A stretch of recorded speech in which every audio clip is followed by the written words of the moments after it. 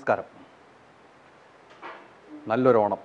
എല്ലാവരും ഓണസദ്യയൊക്കെ കഴിച്ച് ഇങ്ങനെ ഇരിക്കുന്ന ഒരു സമയത്താണ് നമുക്കൊരു നല്ലൊരു കലാകാരൻ. ഒരു സിനിമാ നടനു മുമ്പ് സിനിമാ താരത്തിൽ ഉപരി എല്ലാ ജനാധിപത്യ രാഷ്ട്രീയങ്ങളിലും എല്ലാ കാര്യത്തിലും ഇടപെടുന്ന ഒരു മഹൽ വ്യക്തിയാണ് ഇന്ന് നമുക്ക് ഓണത്തിന് അതിഥിയായിട്ട് ഏറ്റിരിക്കുന്നത്. നമസ്കാരം. എല്ലാവർക്കും എന്റെ ഹൃദയം ആശംസ കുറേ സിനിമകളായി. സംതൃപ്തി തോന്നുന്നു.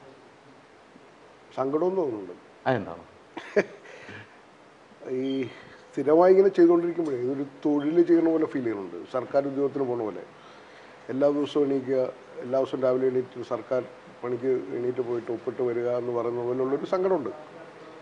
ഒരു ആക്ടർ എന്നുള്ള രീതിയിൽ ഞാൻ നാടകം ഒരുപാട് ആസ്വദിച്ച് ചെയ്യുന്ന മനുഷ്യനായിരുന്നു. പക്ഷെ ആക്ടർ എന്നുള്ള സിനിമാ നടൻ എന്നുള്ള രീതിയിൽ അത് ചിലപ്പോൾ ഒരുപാട് വേറൊരു തരത്തിൽ സംതൃപ്തിയൊക്കെ തരുന്നുണ്ട്. പക്ഷേ അതിനോടൊപ്പം തന്നെ തരുന്ന സങ്കടങ്ങളുണ്ട്. ഒരു സ്ഥിരം പണി. ഒരു കൂലിപ്പണിക്ക് പോണ പോലെ. കാശ് കൂടുതൽ കിട്ടുന്നുണ്ട്. അതിന്റെ ഒരു പിന്നെ നിസ്സഹായ അവസ്ഥയുണ്ട്. ചെയ്യുന്നതൊക്കെ ഒരുപോലെ ആവുന്നു എന്നുള്ള പേടിയുണ്ടാവും. ആ ഒരു ഭയപ്പാട് അതൊരു ആക്ടർക്ക് എനിക്ക് എനിക്ക് തോന്നിയിട്ടുള്ളത് എങ്ങനെയാണ് ഇവരൊക്കെ ഇത്രയും കാലം ഇങ്ങനെ ക്യാമറയുടെ മുമ്പിൽ ലെൻസിന്റെ മുമ്പിൽ നിന്നിട്ട് ഇത്രയും ബിഹേവ് ചെയ്യാനും ഇങ്ങനെയൊക്കെ അഭിനയിക്കാനും ഒക്കെ പറ്റുന്നു എന്നുള്ളത് എനിക്ക് അത്ഭുതം തോന്നിയിട്ടുണ്ട്. ഞാൻ ലാലേട്ടന്റോട് ലാൽ ജോസിന്റെ പടത്തിൽ വെളിപാടിന്റെ പുസ്തകത്തിൽ അഭിനയിച്ചുകൊണ്ടിരിക്കുമ്പോൾ വെളുപ്പിന് സ്റ്റണ്ട് സീൻ ഷൂട്ട് ചെയ്യണം. രാത്രി തുടങ്ങിയ ഷൂട്ടാണ് വൈകിട്ട് ഏഴ് മണിക്ക് തുടങ്ങിയ ഷൂട്ട്. അത് അങ്ങനെ നീണ്ടു നീണ്ടു നീണ്ടു പോയിട്ട് അതൊരു വെളുപ്പിന് സൂര്യൻ ഉദിച്ചു വരുന്നവരെ പോയി. നാല് മണിയോളം നാലര മണിയോളം പോയി. അപ്പോൾ ഒരു ഏതോ ഒരു ഘട്ടത്തിൽ അത് ഒരു കൃത്രിമമായി ഉണ്ടാക്കുന്ന മഴ സ്റ്റണ്ട് ഇതിനിടയിൽ നിന്നാണ് ഈ മനുഷ്യൻ പെർഫോം ചെയ്തുകൊണ്ടിരിക്കുന്നത്. അപ്പോൾ ഞാൻ ലാലേട്ടനോട് ഒരു ഒരു ബ്രേക്കിൽ ചോദിച്ചു എത്രയോ സിനിമകളായി എത്രയോ മഴ ഇതുപോലെ കൃത്രിമ മഴയിൽ നിന്നിട്ട് എത്രയോ സ്റ്റണ്ട് ബോറടിക്കുന്നില്ല? അപ്പോൾ ലാലേട്ടൻ പറഞ്ഞൊരു മറുപടി എന്നെ അത്ഭുതപ്പെടുത്തി. എനിക്ക് ബോറടിക്കുന്നില്ല ഞാൻ എൻജോയ് ചെയ്യുകയാണ്. ആ എൻജോയ്മെന്റ് അത് അത് അത് അതാണ് എനിക്ക് തോന്നിയിട്ടുള്ളത് അതിപ്പോ മമ്മൂക്കട്ടോട് അഭിനയിക്കുമ്പോഴും അവരൊക്കെ ഇപ്പോഴും എൻജോയ് ചെയ്യാണ് ആ എൻജോയ്മെന്റ് എന്ന് പറയുന്നത് അവരുടെ പാഷനാണ് ആ സിനിമയോടുള്ള പാഷനാണ് അവർ ചെയ്യുന്ന അതുവരെ അവർക്ക് ജോലിയല്ല.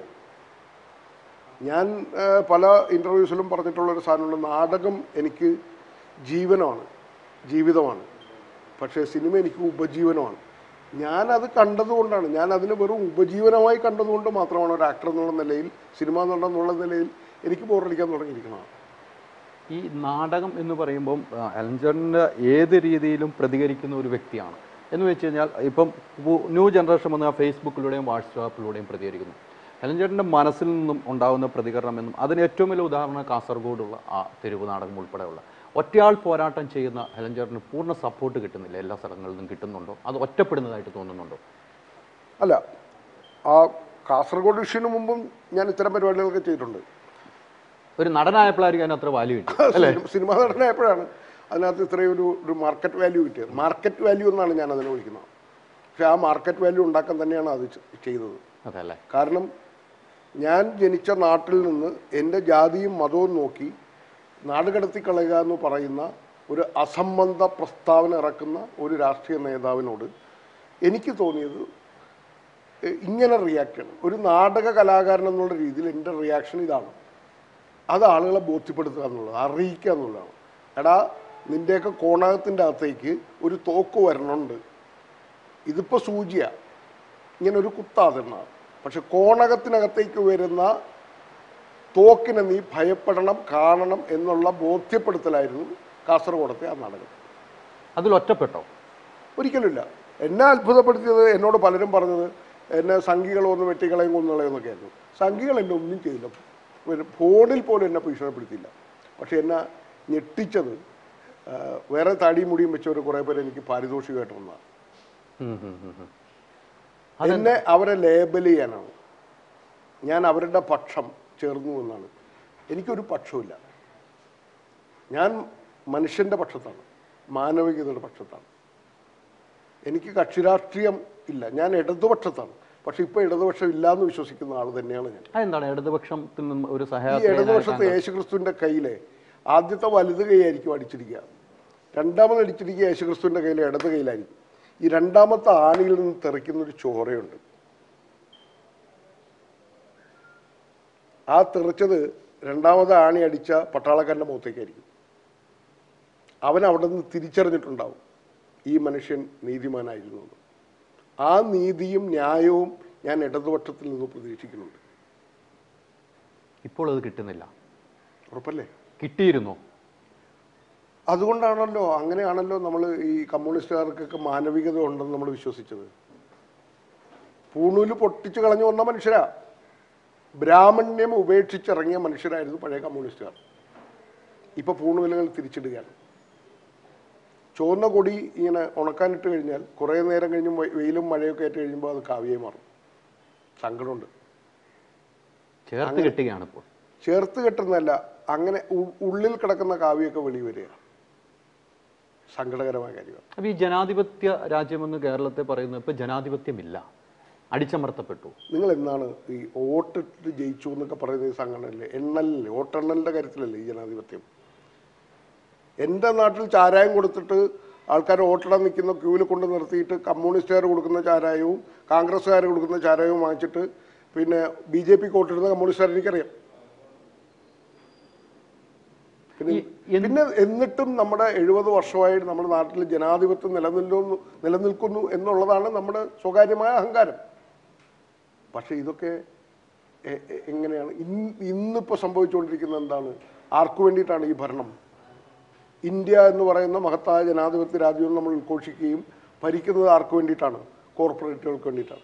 എഴുപത് വർഷമായിട്ടും കുട്ടികൾക്ക് ശ്വാസം കൊടുക്കാത്ത ഭരണകൂടം. എഴുപത് വർഷമായിട്ടും പട്ടിണി മാറ്റാത്ത ഒരു രാജ്യം. എന്നിട്ടും സ്വാതന്ത്ര്യം ആഘോഷിക്കുന്നു എന്ന് പറയുന്നിടത്ത് എനിക്ക് സങ്കടമുണ്ട്.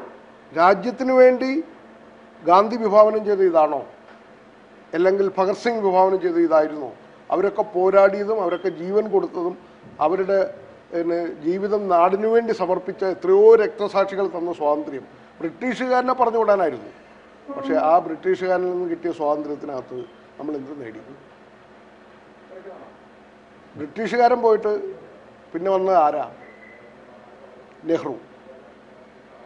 പിന്നെ ആരെ പറഞ്ഞു വിട്ടു? ജിന്നയെ. അവൻ വിഭജിക്കാൻ ശ്രമിച്ചത് തന്നെയായിരുന്നു ബ്രിട്ടീഷുകാരുടെ തീരുമാനം തന്നെയായിരുന്നു നമ്മളെടുത്തത് ആയിട്ട് പോട്ടെ. ഭിന്നിപ്പിച്ച് ഭരിക്കാൻ തീരുമാനിച്ചു ഭിന്നിച്ചു പോയി. എന്നിട്ടും പകയൊടുങ്ങാതെ ഇന്നും അയൽവാസിയായ പാകിസ്ഥാൻകാരനെയും അവൻ തീവ്രവാദിയായിട്ട് ഇപ്പുറത്തും യുദ്ധവും കലഹവും അതിര് അതിൽ അതിരുകളിലൊക്കെ പോയി നിങ്ങൾ കണ്ടു നോക്കണം. സല്യൂട്ട് ചെയ്യുന്ന കാലുപൊക്കിയിട്ടാണ് അങ്ങോട്ടും ഇങ്ങോട്ടും ഈ ജവാന്മാർ ജവാന്മാർ എന്തൊരു അവഹേളനമാണ്? എനിക്കത് മനസ്സിലായിട്ടില്ല. ഈ ആലഞ്ചറിന്റെ ഈ പ്രതികരണങ്ങൾ പല ഇപ്പം തന്നെ നമ്മൾ ഇപ്പോൾ തുടങ്ങുമ്പോൾ തൊട്ടുള്ള പ്രതികരണങ്ങൾ കേൾക്കുമ്പോൾ ആരെയും ഭയപ്പെടാതെ എങ്ങനെ മുന്നോട്ട് പോകാൻ കഴിയും? ഒറ്റയാൾ പോരാട്ടം തന്നെയാണ് താങ്കൾ. ആദ്യം തുടങ്ങി വെച്ചപ്പോൾ താങ്കൾ തുടങ്ങി വെച്ചപ്പോൾ താങ്കൾ ഒരു കാര്യം പറഞ്ഞിരുന്നു. ഏഹ് നാട് കടത്താൻ പോയപ്പോൾ അതിന്റെ പ്രതികാരമായിരുന്നു എന്ന്. ഒരു രാഷ്ട്രീയ നാട് കടത്താൻ പോയി എന്ന് പറഞ്ഞു. ആ അങ്ങനെ നാട് കടത്താൻ കഴിയുമോ ഈ കാലഘട്ടത്തിൽ? നടക്കില്ല. നടക്കില്ല. നടക്കില്ല. അതിൽ ഞാൻ വളരെ ആത്മവിശ്വാസമുള്ളവനാണ് വളരെ പോസിറ്റീവാണ്. എന്റെ രാജ്യത്തെക്കുറിച്ച് എനിക്ക് ഉത്തമ ബോധ്യമുണ്ട്. ഇവിടുത്തെ ഭൂരിപക്ഷത്തിലെ ന്യൂനപക്ഷവും ന്യൂനപക്ഷത്തിലെ ന്യൂനപക്ഷമാണ് ഈ പ്രശ്നങ്ങൾ മുഴുവൻ ഉണ്ടായിക്കൊണ്ടിരിക്കുന്നത്. ഭൂരിപക്ഷം ജനങ്ങളും മതസൗഹാർദ്ദത്തിലും സ്നേഹത്തോടെയും ജീവിക്കാൻ ആഗ്രഹിക്കുന്ന മനുഷ്യരാണ് ഭാരതത്തിലുള്ളത്. എന്റെ നാട് എന്ന് പറയുന്നത് ഞാൻ പോർച്ചുഗീസിൽ നിന്ന് വന്നതല്ല ഞാൻ അമേരിക്കക്കാരിൽ നിന്ന് വന്നതല്ല. ഞാൻ ഈ ഇന്ത്യ ഇന്ത്യ എന്ന് പറയുന്ന ഭാരതത്തിൽ ജനിച്ച മനുഷ്യനാണ്. എന്റെ വേര് ഇവിടെയാണ്. ആ വേര് അറുത്തു മാറ്റാൻ പറ്റില്ല. അത് ആർക്കും കൊടുക്കില്ല. ഒരു രാഷ്ട്രീയ പാർട്ടിക്കും അത് അറുത്തു കൊടുക്കില്ല എന്ന് പറഞ്ഞിട്ട് വിശ്വാസത്തോടെ തന്നെയാണ് ഞാൻ ഇവിടെ ഇരിക്കുന്നത്. അതുകൊണ്ട് തന്നെയാണ് ഞാൻ പറഞ്ഞത് ഞാൻ അമേരിക്കയിലേക്ക് പോകാനുള്ള ടിക്കറ്റ് അന്വേഷിച്ച് കാസർഗോഡേക്ക് ഈ ബസ്സിനകത്ത് കയറുമ്പോൾ ഞാൻ ചോദിച്ചു നിങ്ങൾ ആരെങ്കിലും അമേരിക്കയിലേക്ക് വരണുണ്ടോ? ഞാൻ അമേരിക്കയിലേക്ക് ഈ ബസ് ഹൈജാക്കിയാണെന്ന് ഞാൻ ഞെട്ടി. എന്റെ അച്ഛന്റെ പ്രായമുള്ള ആൾ ഉൾപ്പെടെ അവിടെ ഇരുന്നിട്ട് അദ്ദേഹം പറഞ്ഞത് അമേരിക്കയിൽ കൊണ്ടുപോകി ഞാൻ വരാം. ഞാൻ അവിടുന്ന് ആ ബസ്സിൽ നിന്ന് ഇറങ്ങി. ഞാൻ വരുന്നില്ല. ഞാൻ ഈ ജനിച്ച മണ്ണിൽ തന്നെ മരിക്കും. നിങ്ങൾ വെക്കോ.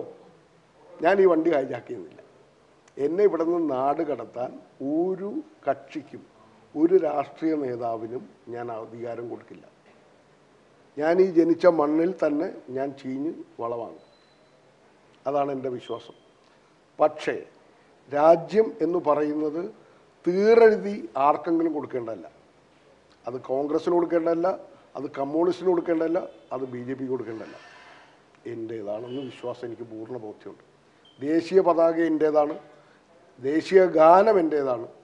ദേശീയ കുറിച്ചൊക്കെ നമുക്ക് അഭിപ്രായ വ്യത്യാസങ്ങളും കാര്യങ്ങളൊക്കെ വേറെ ഉണ്ട് ആര് ആരെയോ വർണിച്ചിട്ടൊക്കെ പാടിയതാണ് എഴുതിയതാണ് ടാഗോർ എന്നൊക്കെ പറഞ്ഞ് കേൾക്കുന്നുണ്ട് എനിക്കറിഞ്ഞൂടാ ദേശീയ പതാകയെക്കുറിച്ച് പറഞ്ഞാൽ അതിന്റെ അളവുകളൊക്കെ പറഞ്ഞു കഴിഞ്ഞാൽ അതിനകത്താവും പക്ഷെ പക്ഷേ കുറിച്ച് പറയാനുള്ള സ്വാതന്ത്ര്യമൊക്കെ ഉണ്ട് അല്ലെങ്കിൽ അത് പ്രശ്നമില്ലാതെ പറയാൻ പറ്റും മറ്റേ നമ്മൾ അളവുകളൊക്കെ പ്രശ്നമാണ് പതാകയാണ് വലിയ പ്രശ്നം ഈ പതാകകളില്ലാത്ത ഒരു ലോകത്തെ കുറിച്ചാണ് എന്റെ വിശ്വാസം